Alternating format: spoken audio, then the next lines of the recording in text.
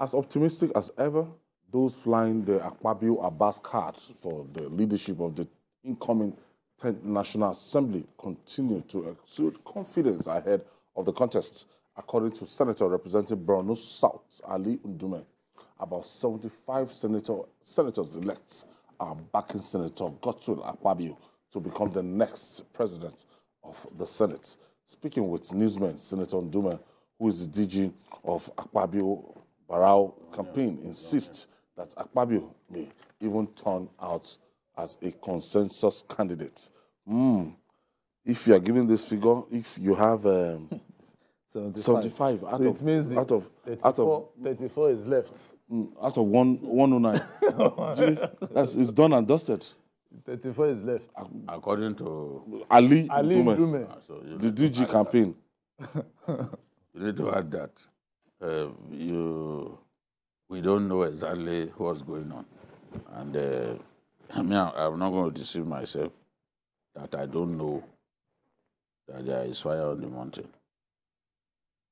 What Akpabio needs to do is to continue to mobilize because he's worked hard and he's been front runner for so long to um, allow everything to collapse at this stage. So he has to continue to engage. You know, he's been meeting governors, you know, so that those governors can prevail on their members and all that. He's been going and he's really worked hard on this matter. I can imagine how many hours of sleep Akpabio gets at this time. So he has to just keep working hard. All this uh, listing of people's names, saying this one, this, these people are with me. Mm. In politics, it's, it can be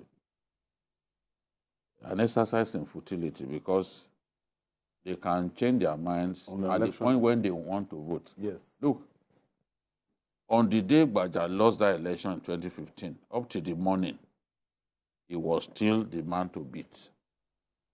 It was when they got into that hall that we now started seeing. In fact, it was leading for, for so mm-hmm. long when they were counting. Mm-hmm. Suddenly, the thing changed. Yes. Eh, uh, Gudaji Kazaure was even saying, look, that, that, morning, None. that they brought them together and that they were still saying, okay, this thing will go to Gbaja. But it changed suddenly. Mm-hmm. And little things like, oh, let this person be your deputy. Oh, give this person this. Matter. Can sway the pendulum of victory. Exactly. Because when you, when you now Australia. stand firm that no, I can't give it to him, the supporters of that person can work against your ticket and then back someone who will make, who will give them such concessions. Because it happened in 2015. At the end of the day, no one expected Baja to lose that election. But Dogara defeated uh, Baja. And just with eight votes. Oh. So I remember. So even now, you can be a front runner and still not win.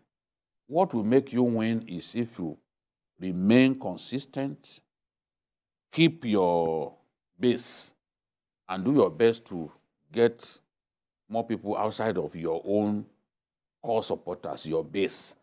That is what I believe Akpabio needs to do. He has experience, he's a skillful politician, and at this stage, I know that he knows what is at stake. And some of what we are talking about, you know, after yesterday's uh, um, program, I, I said something that look, if they do, during the program, I said, if they do Senate first, and then do that, whoever emerges, they can affect. One of the senators, when we were talking last night, he said, Jide, what you said is true. The truth is, I don't know whether law has been amended. They've never had the election simultaneously.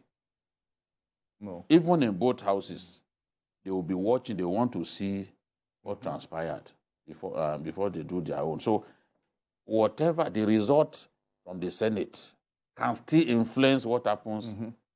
Because if, for example, a Yari were to win in Senate, I'm not saying that he's going to win. If he were to win, do you think another person from the northwest will be allowed to emerge. That's the point that I made, I made. In politics, you have to look at all possibilities. You can say he cannot win. What if he wins? You know? But uh, Gochinyere said no, that they cannot. Uh, uh, we will see whether they are going to do elections simultaneously because I've, I've, I've never seen where that. No, the, even in the Eighth Assembly, it was different. Know, That was what, uh, first before the House of Reps. Yes, he said that the law has been amended, and you know, but there was still a very senior senator who was telling me yesterday that the point that you raised is a very valid one. That they have to be on the lookout.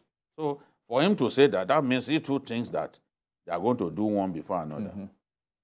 After all, even their valedictory sessions are not simultaneous. Uh, so- Not the same day, sir. uh-huh. And it, they will want to see what transpired.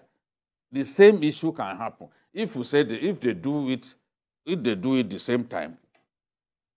You know, it's still possible for the North Northwest to produce the two of them. Yeah, exactly. So, the, what will make sense is for them to even do it separately, separate. so that So that they can balance happens, uh-huh, you the- can the then achieve one. balance by saying, okay, let us see who emerges at the other end, because what we are what we want to avoid will then happen. Mm-hmm. Both of them will be Muslim. So how do we deal with that situation? Mm-hmm. If it were will happen like that, both of them will be Muslim. Mm. Now, looking at the configuration of this 10th assembly, as in, say, a lot of people will tell you that um, that's we've never had it like this since 1999, and it's just so close and different political parties and representation. We have Labour Party, we have Social Democratic Party, we have Youth Democratic Party, YBP even represented. Yeah, yeah. You know, this is the first time we are having rainbow colors, you know, in, in the National Assembly, and in, and it's good, you know. In it, it's good for us, you know, so that um, those who feel that the house is usually their uh, their all in all will know that even in the next election it will not be easy. Yeah. So um, even as we as we look at it, um, Ayo, the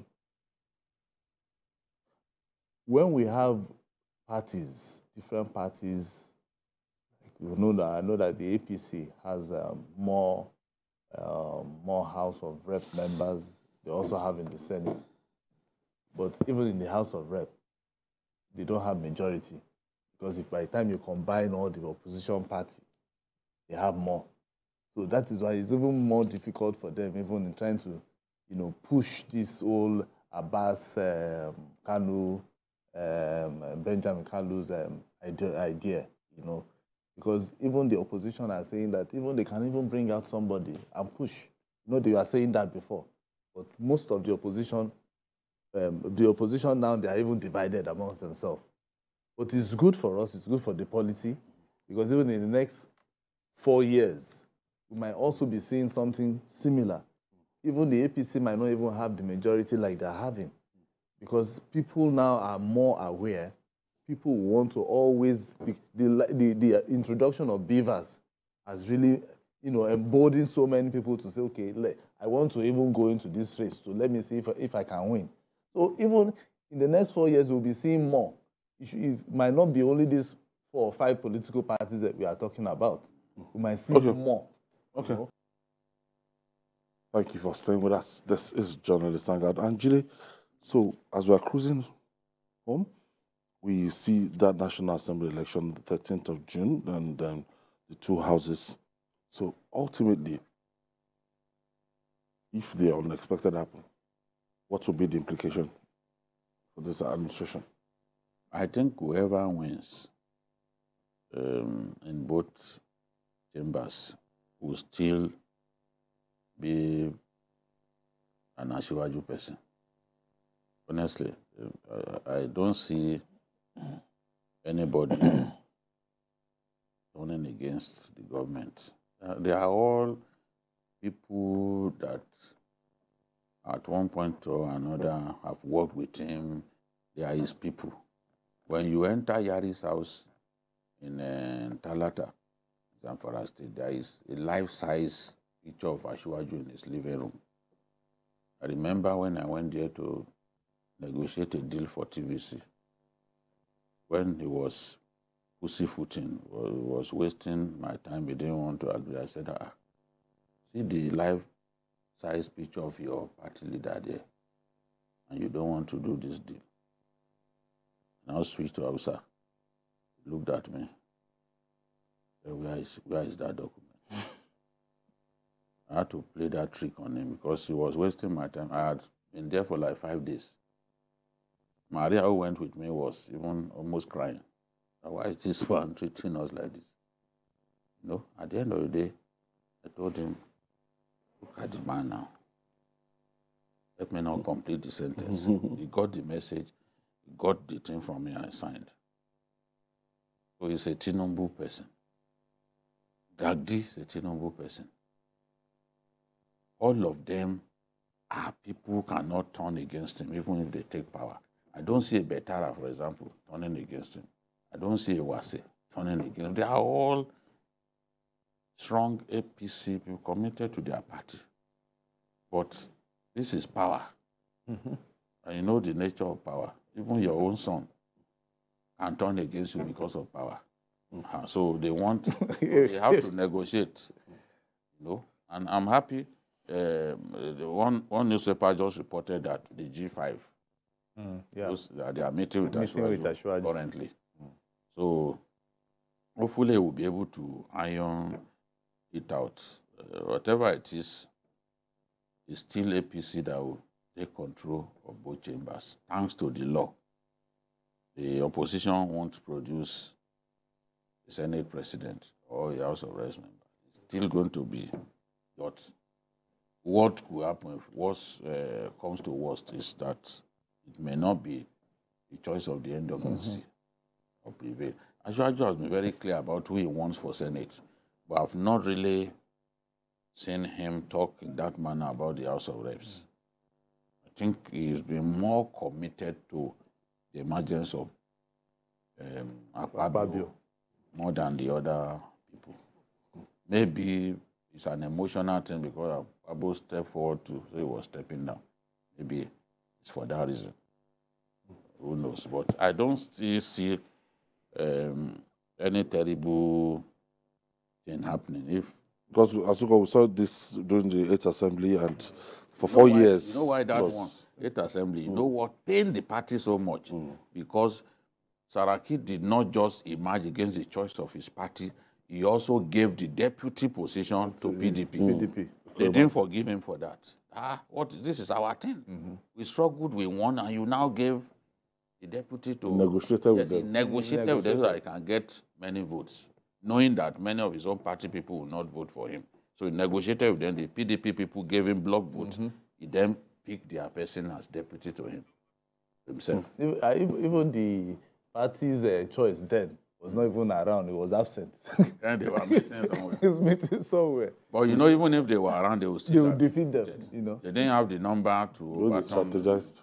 Yeah, I, I, I, I- I think um, the engagement has to just. It was four years. It was all about removing how to remove Saraki. Yes. Four was years. of- all about how to remove Saraki, But not, it was uh, too it late was- because because they couldn't. You know. But I'm not sure that this is going to be like that. You know, we just want to see a house that or a national assembly that will work with the That would not be adversarial. Yes, no, because the country, we all know how the country is now. So We need to fix the country. yeah, exactly. So and I think I think that is that is what Ashiwaju is after. People who will be able to work with me when Nigeria needs them, because that is what we need now. If the National Assembly is in peace, the executive will work well with them because we need that cordial relationship with, with both of them need that cordial relationship. And now that he is meeting with all of them, I know they will come to a, a very good conclusion and um, consensus. It might not be one person. There might be some things that will happen which we might not know until um, that particular day. But we know that there will be series of engagement from now till Monday evening. I know. Okay. I want to thank you, Asuko James. Thank you for your contribution. And the master himself, Papaji de Kolade Toju. And that's our offering today. Join us tomorrow for another episode of the program. You can watch the repeat broadcast tonight at 11 p.m. Join us this Sunday for Journalist Hangout on Sunday. That's from 1.30 to 3.30 p.m. We're on YouTube, youtube.com slash TVC News Nigeria. I'm Ayodele Ozugbakun. Bye for now.